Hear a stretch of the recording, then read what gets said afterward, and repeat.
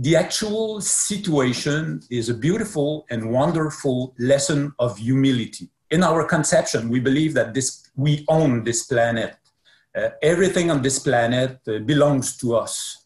We're entitled to exploit uh, its natural resources, to convert them into financial resources.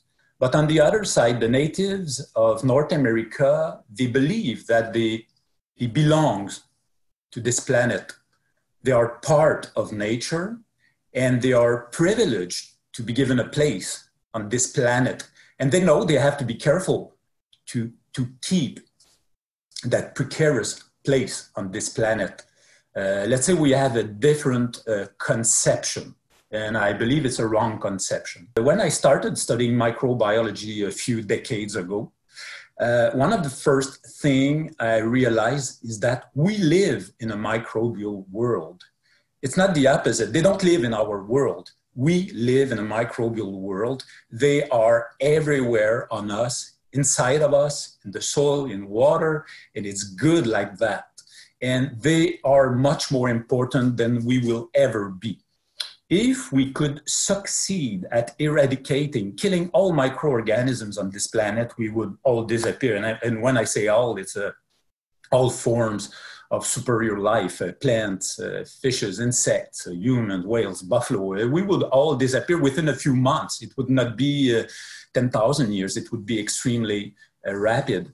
And when I look at the COVID situation presently and I see uh, these people who are uh, fogging, uh, fumigating, uh, uh, spraying all surfaces, even sidewalks and everything, even people in, with their cloth with disinfectant, it scares me a little bit.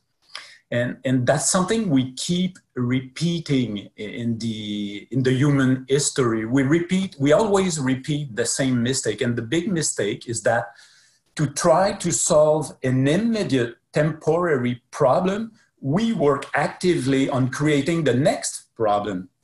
And that's what presently we're all doing. When I say all, I'm not uh, targeting us at InnuScience, of course, but uh, uh, humans on this planet Eh, eh, eh, we know it's wrong to use disinfectants everywhere. We know what we have to do. It's extremely simple, but we don't like simple solutions. It's like when it's time to lose weight. We know we have to eat less and move more, but that's that's not the solution. We'll try diets, pills, all type of different things. But the things that needs to be done, usually and typically we don't do that. In this COVID situation, we have to wash our hands, keep distance uh, uh, between people, and keep working on a vaccine. That's all we have to do. That's the solution. Uh, but we prefer to to hear about uh, biocides, pesticides, killing, disinfecting. When you use a disinfectant that has virucidal properties, uh, a disinfectant that is effective against COVID it's one thing, but it's not specific, it's not selective. It's killing everything. Uh, bacteria, molds, fungi, it's, it's not specific. And this is a big problem. So I hope uh, we will go back to normal as soon as possible. And at InnuScience, we'll keep uh, transporting the message about um, justified disinfection. It's so, so essential.